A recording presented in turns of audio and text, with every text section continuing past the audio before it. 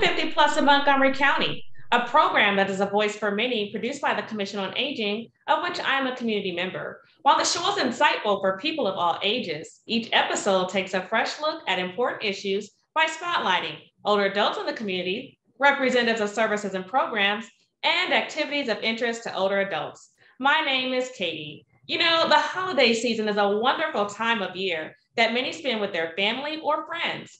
Today, we will talk about a few of the customs that reverberate annually, such as Christmas and Hanukkah to welcome the holiday season, including the beautiful and personalized ways that bring us joy all year long.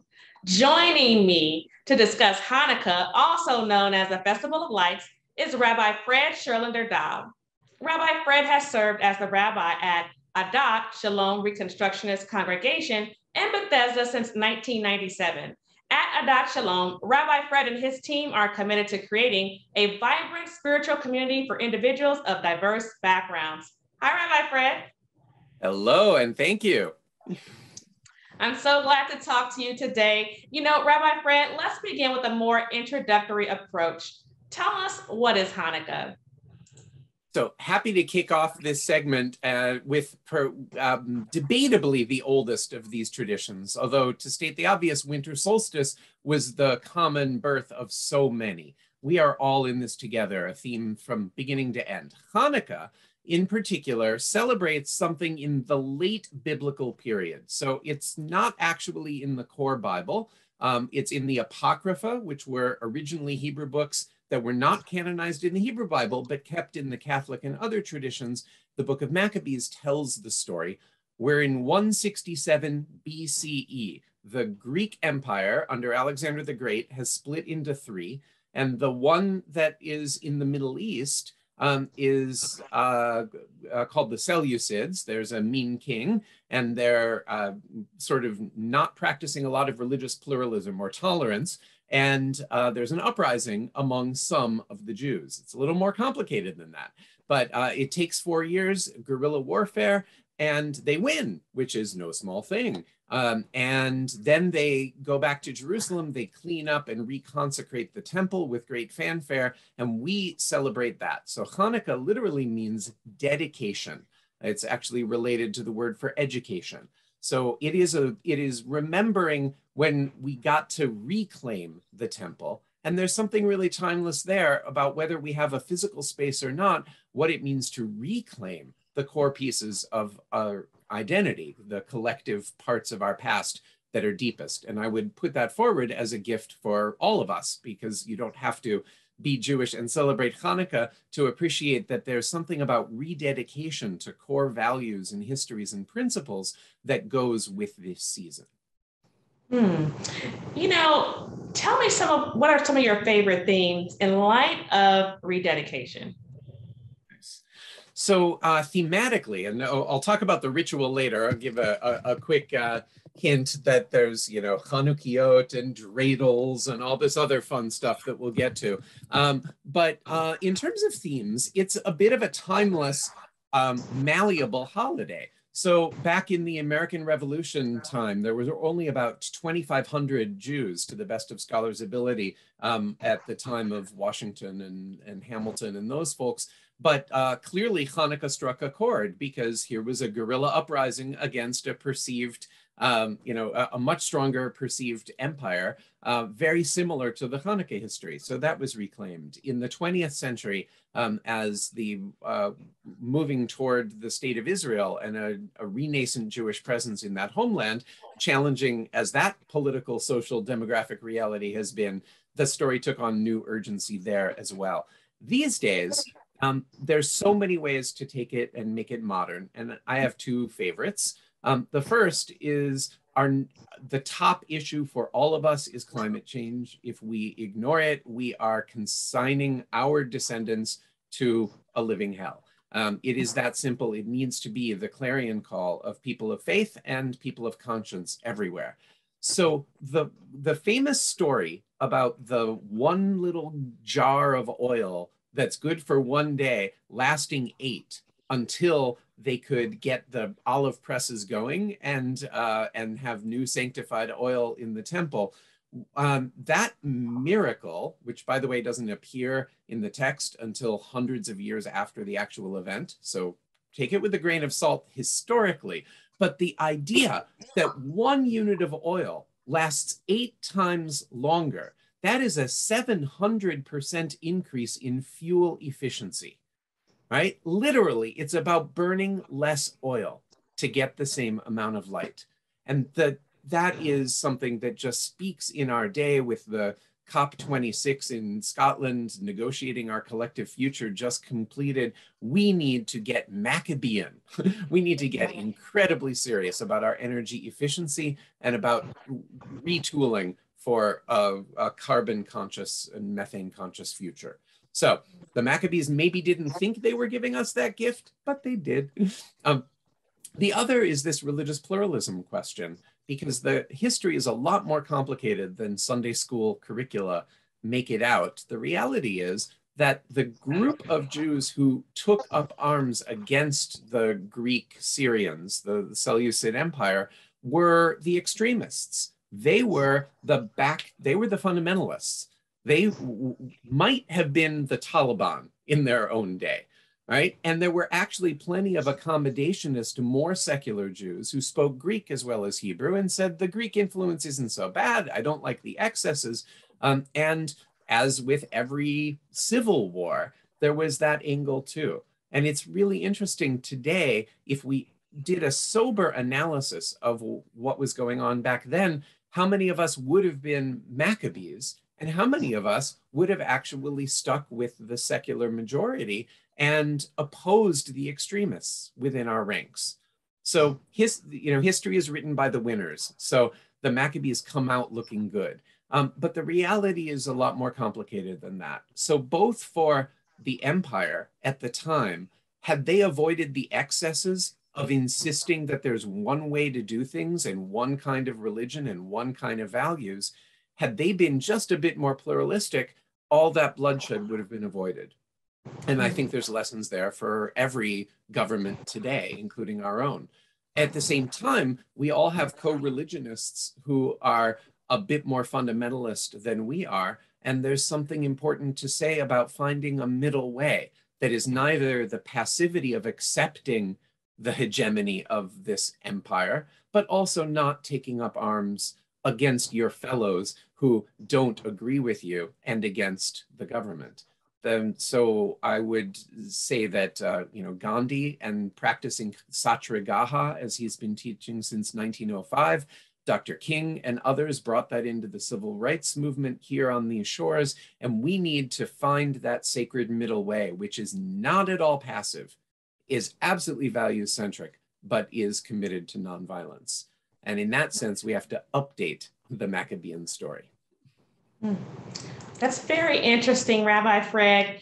Tell me about this. You said that Hanukkah is a, a timeless tradition. What would you say about the intergenerational aspects of Hanukkah, specifically the role that grandparents, friends, and other extended family members play in helping us to, you know, navigate the middle way as well as being more efficient with our unit of oil? Right. So, as one of the later holidays on the Jewish calendar commemorating a post biblical thing, Hanukkah is not one of the top 10 religious things in the Jew- Jewish calendar, but it's one of the top two or three most celebrated because it's a home based tradition. There's something incredibly powerful about a tradition that often tells us exactly what to do and when. For eight nights, you just have to come home as quickly as practicable, close to sunset. And put the menorah in the window, public facing, to publicize the miracle. So it's thanks to God for these miracles. It's also a reminder of human power, human ingenuity um, as well. So doing that with a very short and accessible ceremony and with lots of fun things with foods, with uh, with toys, the dreidel, and all kinds of fun things like that. Um, it, it is a place where memories are impressed, going all the way back to ages two, three, four, um, and throughout childhood. Those intergenerational moments that modernity so often lacks, as we are now so spread out, um, anytime we can get together intergenerationally, it is a gift that we give, I would say, as someone recently 50 plus myself, um, that we give for ourselves to have that youth energy around us, but we also give to them two and three and four generations down the line by being a, a, beloved elder in their presence and celebrating with them and enabling that warmth and that sense of family and that sense of values to all be connected. So, whether you have your own grandchildren in the area or not, or whether you do it on Zoom, whether you are a, a biological or an honorary auntie or uncle um, to uh, any number of people, uh, and including in the community, just getting involved in your local synagogue and the, the power when you um, have like a tinfoil covered table and 30 of these all alight at the same time, it's amazing. Um, so bring yours and add to the light, uh, and especially for the children in your life, it is a huge gift. Finally, you know, can you briefly share your thoughts about the interfaith context of Hanukkah and Christmas in our last two minutes? Okay, so um, I promised the the setup. You can see that Hanukkah can be artsy or or cultural or simple. Um, in back, you see the seven branch. That's actually the uh, Kinara, from Kwanzaa, which is very similar to the biblical menorah, and the winter festival of Kwanzaa um, with African roots and core in the African American community is something beautiful. We happen to be a multiracial family, so we can celebrate it sort of honestly. Um, but um, but I would say all of us should come together for Kwanzaa and for Christmas and for Hanukkah. Diwali was a little early this year, but that too, right? Like uh, all of it. And Ramadan, of course, floats throughout the solar year, so it's not nearby right now, but it will be again. We are all in this together. And so the this idea of bringing light into the darkness um, is is ultimately the core lesson here. That when there is darkness around us, you don't curse it, you gather with others, you organize, and you bring light. And that is the core teaching that cuts across all of it. So we are truly in it together. And whatever you celebrate, even if it's only solstice um, in this season, um, then um, happy holidays. But that's that doesn't even begin to scratch it, right? That may be better when you don't know the religion than saying Merry Christmas or Happy Hanukkah or anything else but deeper than happy holidays. Be the light, bring the light. Thank you. I like that, Rabbi Fred. You know, thanks so much for taking the time and showing us how we can be the light and bring the light. How can we stay in contact with you? Uh, adatshalom.net, N-E-T. Our synagogue in West Bethesda is open to all. I can be a resource along the way, uh, particularly around climate change and religion. Uh, Greater Washington Interfaith Power and Light is a particularly powerful uh, follow-up for that. It's ipldmv.org, where people of all faiths gather to think about saving the climate and our future together. Um, so there's a lot of places to follow up, including with your own community, your own spiritual advisor. And if you don't have one, give us a call. Thanks, Rabbi Fred. Awesome. Blessings. Up next, we will talk with Reverend Anne Derse, who is a deacon and minister for community engagement at the St. John Norwood Episcopal Church. The Beacon newspaper's virtual 50 Plus Expo will offer an extravaganza of information for the area's older adults and their families. The event will take place on an easy to use website offering free access to speakers on a variety of health and financial topics, including our keynoter Diane Rehm, classes including exercise, cooking, and more. Entertainers ranging from comedians and rock and roll singers to Broadway and classical music, plus 50 government agencies, nonprofits, and businesses offering services and products designed for older adults. All of this will be available free of charge 24 7 for a full three months from Monday, November 1st through January 31st. And valuable door prizes will be awarded throughout the period. More than 9,000 people visited our virtual expo last year, on their computer, laptop, tablet, or smartphone. Don't miss out this year. Make a note now to visit beacon50expo.com. Again, that's beacon, B E A C O N, 50expo.com, starting November 1st. Sponsored by AARP Maryland, DC, and Virginia.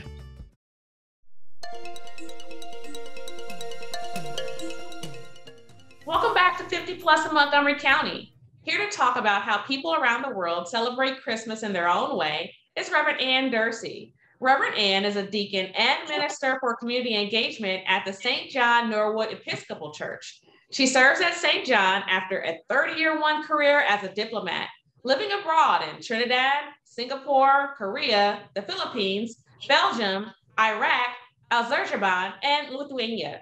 She's focused on helping people find the best ways to give their gifts of faith, talent, life, and professional experience to serve. Hi, Reverend Anne. Good morning, Katie. How are you? I'm so happy to be here with you at this festive season and say good morning to you and to everyone watching. I'm happy to talk to you too, Reverend Anne. Good morning. You know, before we talk about the displays of Christmas and how it's celebrated, let's start with you. Tell us, what are your Christmas memories? What Christmas tradition did you grow up with?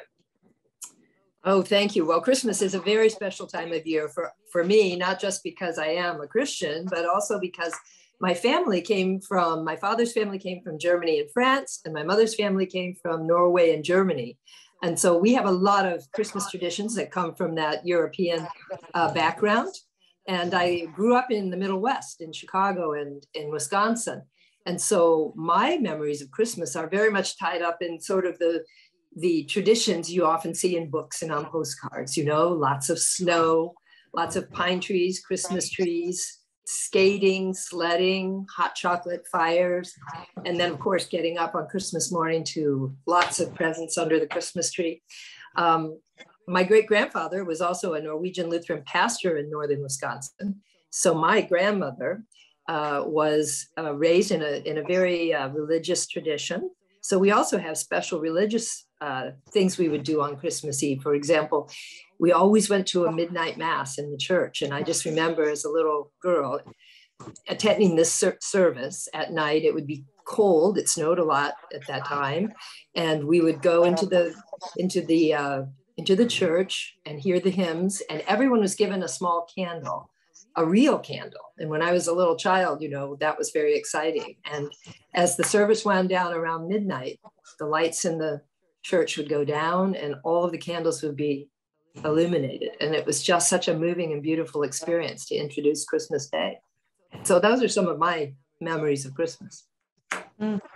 Now, Reverend Anne, as a former ambassador who lived in other places around the world, can you share with us how Christmas was celebrated and adopted in some of those local cultures? Well, thank you very much. And I, I, just explained to you that my personal experience of Christmas was this very wintry, cold, uh, snowy uh, kind of background. So when I went as a young foreign service officer to my first overseas assignment in Trinidad and Tobago, which is a beautiful tropical island, I experienced for the first time a tropical Christmas. And uh, I went after that to Singapore and the Philippines, also tropical places and had their experiences of Christmas. Very, very different from what I experienced in the Middle West. Um, at that time of year in December, in those tropical countries, it's beautiful weather. It's very warm. It's not raining. The tropical rains are over. People are outside in the streets, and it's and it, especially uh, joyous time of year in cultures where beautiful music and lots of gaiety is kind of part of the tradition and the culture. And in Trinidad, for example, I'm sure you've heard of Trinidadian music like calypso and soca. Those traditions blended with the tradition coming from Venezuela called uh, parang, which is a very special kind of music that's played at Christmas time when people go out and about and do Christmas caroling, just like they do in, in some of the Western countries. And then in the Philippines, I remember the Filipinos have a very strong um, tradition, Christian tradition, Roman Catholicism. They uh, attend service, they attend Mass every night for nine days, I believe it is, before Christmas. And then they also have a midnight Mass tradition. But one of the most exciting things about the Philippines is how the people decorate there. They make beautiful decorations called uh, paroles, which are typically made out of a translucent seashell, and nowadays often with cellophane. And all over the country, you'll see these beautiful paroles. They also set up almost every home, from the most humble to the most grand, will have a beautiful creche or nativity scene depicting the Christmas story there in the Philippines.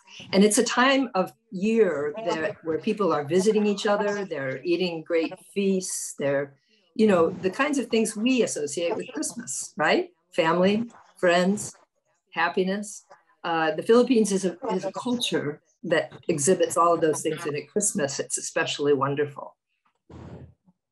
You know, that's interesting. Can you capture any other different expressions of Christmas during this joyful time of the year? Absolutely. I mean, I mentioned, um, or you mentioned that I had served also in Europe. And so when I was living in Brussels, for example, we, we would travel to Germany for a very special Christian, for a very special Christmas tradition there, which is a living creche. And there were some small towns just across the border from where we lived in Brussels. And, these small towns in Germany would set up a beautiful living creche where they had people and animals, you know, and an outdoor manger depicting the nativity scene of the birth of Jesus. And people in the small villages would have processions with candlelight to visit the, the creche. And it was a very moving experience.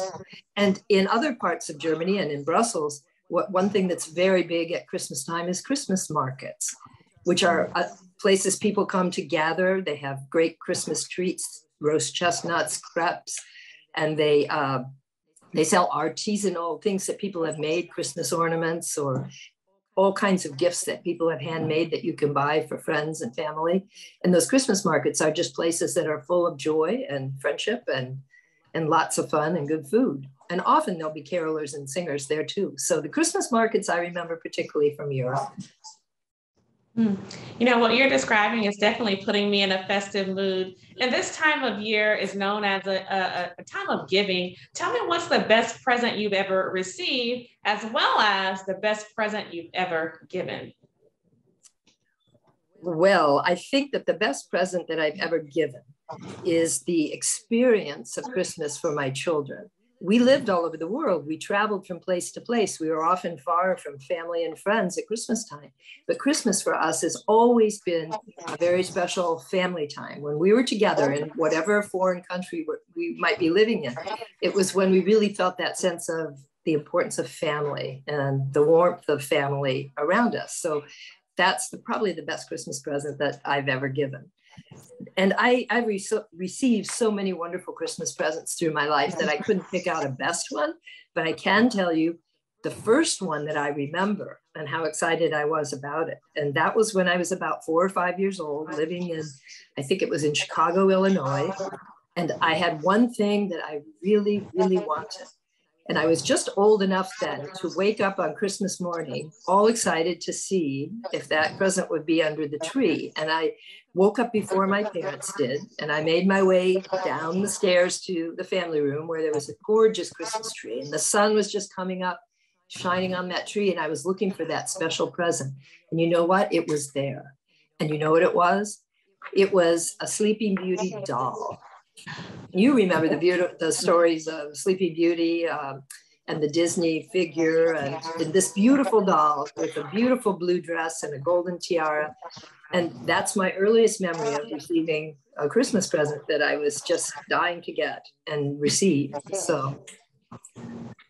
Well, speaking of receiving and giving, before we depart, are there any words of advice that you would like to share with our viewers as they think about celebrating this season and then what Christmas means to you? Thank you very much for that question. And yes, actually, there is, because, well, I'm sure you know that Christmas for Christians is, is a very important and joyous celebration of the birth of Jesus Christ. And so there's a spiritual side to this for me that's very, very important as a Christian. But I'd also like to say that there's something really universal about the spirit of Christmas that I think is shared by all our other great faith traditions and shared even by people of no particular faith tradition, but people of goodwill. And that there are some things that we just all yearn for. And at Christmas, we feel that in the spirit of Christmas. And those things are, well, first of all, light in the darkness. I mean, light in the virtual darkness because we're approaching the winter solstice and it's the darkest time of year. And right now in the United States of America, We've experienced a dark period uh, with COVID and with some of our political divisions. And so it's been a difficult time for our country. So at this time of year, we think about light, light in the darkness. And that to me is extremely important. And then we think about peace at Christmas as well. It's a time when, in a world that we know is too riven by conflict and division and violence often, this is a time when we can step back and think about peace and how we should be working together to achieve it as people. And then there's the issue of, well, caring for one another. Christmas is quintessentially a family holiday, but it's when we think about ourselves as part of the human family and we really reach out and we give and we care for one another. And that moment of love and caring for others is an extremely enriching one for us all spiritually, no matter what faith you are. And lastly, I would say we have the issue of hope and faith. And again, for Christians, this is the birth of Jesus Christ. So it's a very important mm. spiritual moment for us, but there is something greater than all of us. And I think at Christmas time, there is a universal spirit that we feel. And that's a spirit of, of love and truth and justice and caring. And this is a time when we can remember and feel that there is something greater than we are, and that if we work and strive to approach that spirit of goodness, that we can make a difference in the world. And do I have one more minute to give you a, a, a picture to keep in your mind through the Christmas season that I think is really important? Absolutely, Reverend Anne. I'd like to describe, well, this is not my original idea. This comes actually from a monk and an abbot named Dorotheus who lived in Gaza in the 500s. And this monk described the world as, as follows He said, Think of the world as a circle or a big wheel. And at the center of the wheel is God, or this universal spirit of goodness and mercy and justice and light. And then all of the spokes on the wheel are the different ways that people live and worship. And if you think about moving closer to the center of the circle, closer towards God, at the same time, you're moving closer to other people as you move up the spokes towards the center. And I often think of that when I think of the Christmas star. So I hope that everyone who's listening here today will have a wonderful holiday season, whatever faith you celebrate. And if you're a, a Christian, well, Merry Christmas. And think about that. Think about approaching as we approach the spirit, universal spirit of goodness, what it means to us as we approach other people too, and what we can do to make a difference in the world. Reverend Anne, you are all inspiring. Thank you so much for taking the time to share with us. And how can we stay in contact with you? Well, I work at St. John's Norwood Episcopal Church in Bethesda, Chevy Chase, Maryland, and you can reach me there. Okay, so it's A Derse, so A D E R S E, at St. John's Norwood.org. And St. John's Norwood is all one word. Okay? Thanks so much, Reverend Anne. Thank you. I appreciate the opportunity and have a great holiday season. You too. Well, that concludes our program for today on Hanukkah and Christmas and how the holiday season tends to bring light and joy to many in various ways. As you can see, the voices of those 50 plus matter every day and in every way. To learn more about services for seniors in Montgomery County, please visit the Montgomery County Seniors website by visiting montgomerycountymd.gov slash senior or call the Senior Resources line at 240-777-3000. And no matter how you celebrate the season, we wish you a happy holidays. And as always, thank you for watching 50 Plus in Montgomery County.